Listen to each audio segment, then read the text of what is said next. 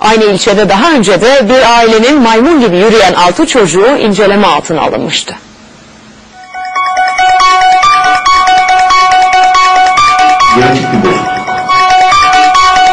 Şempanzeler var, babunlar var, orangutanlar var. Onlara biraz benziyor. Kocaman kırmızı gözleriyle ve neredeyse çenesinin altında olan kulaklarıyla önce ailesini, sonra bilim dünyasını ve ardından tüm Türkiye'yi dehşete düşürdü. Genetik bir hastalık. Bunlar genetik bozukluklar. Hatay Kırıkan'da dünyaya gelen bu talihsiz bebek inanılmaz bir görünüme sahipti. Uzun oldu anlaşılıyor.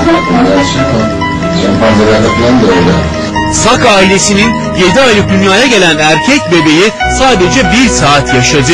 tür olaylar ya anne karnında ya da onun çok kısa bir süre sonra vefat etmektedir. Vücudu insana benziyordu ama boynundan yukarısı için aynı şeyi söylemek mümkün değildi.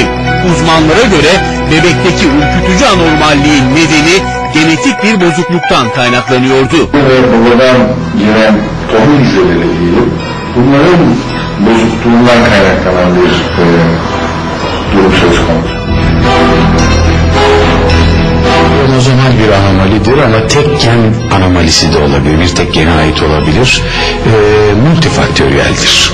Ailesel yatkınlıklar olabileceği gibi, kromozomal defekler olabileceği gibi çevre kirliliği, katkı maddeleri, radyasyon, bir takım kemoterapatik ajanlar burada rol oynuyorlar. İlk kez anne olmaya hazırlanan genç kadın ekonomik nedenlerden dolayı hamileliği boyunca doktor yüzü görmemişti.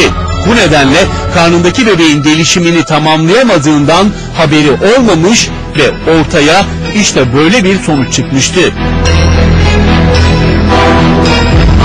aşamaların birisinde kalırsa gelişme o zaman önceki insan veya maymunsulara veya insansılara benziyor.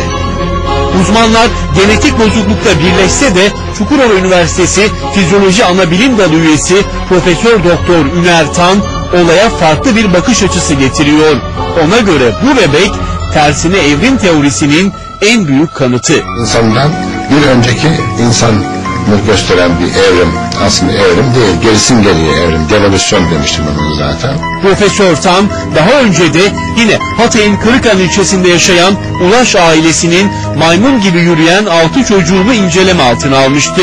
Yaşları 20 ile 35 arasında değişen kardeşlerde yürümeye engel genetik bir bozukluk vardı. Dikkat çeken bir başka noktaysa anne babalarının çok yakın akraba olmalarıydı.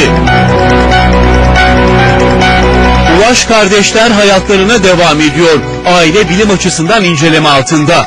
Ama bu erkek bebek hakkında aynı şeyi söylemek mümkün değil. Talihsiz bebek neden bu şekilde doğduğu tam olarak incelenemeden apar topar toprağa verildi.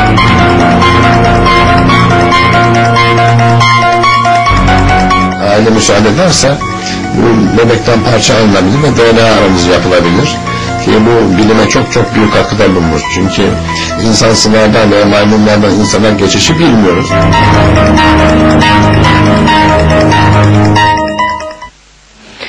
İstanbul'da temizlik işçilerini taşıyan minibüs şoförü yolda giderken akıl almaz bir kazaya kurban gidiyordu. Karşı şeritte kaza yapan araç yüzünden bariyerlerden kopan bir taş seyir halindeki şoförün tam